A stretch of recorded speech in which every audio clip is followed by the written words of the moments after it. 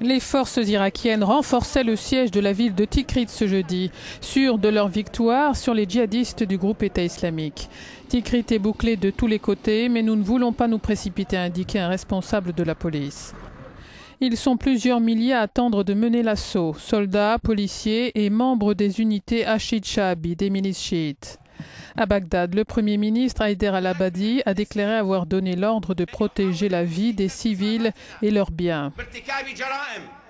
Il y a des agents infiltrés qui veulent ternir nos victoires en commettant des violations graves et des crimes concernant la sécurité et les biens des habitants. Nous avons donc donné des ordres stricts aux forces de sécurité, aux chefs de la police, de l'armée et des unités Hachid Shabi. La veille, le secrétaire américain à la Défense se disait préoccupé par la présence de conseillers militaires iraniens aux côtés des forces irakiennes dans cette bataille de Tikrit, soulignant le danger de lutte interconfessionnelle.